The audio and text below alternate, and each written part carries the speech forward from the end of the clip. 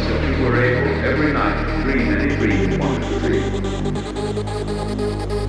And that you could have the power within one night to dream 75 years of time.